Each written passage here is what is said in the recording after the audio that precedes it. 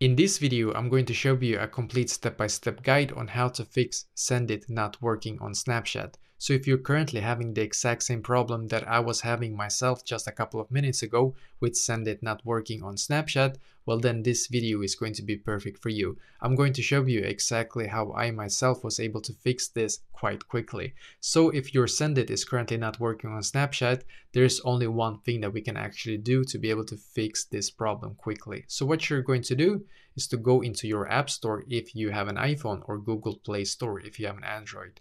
And in here, you're going to search for Sendit. So search for Sendit, scroll down and see if your blue button in here says update. For me, that it did say update. I clicked on it and then when it updated to the latest version, I went back and now it's working exactly like before basically. But if if it's still not working, you can also check this. Go into Snapchat, scroll down and see if you have this blue button in here where it says update on Snapchat because snap sometimes all of the bugs that is currently with Sendit uh, not working on Snapchat is actually not the Sendit's fault, but actually it's something wrong with the Snapchat.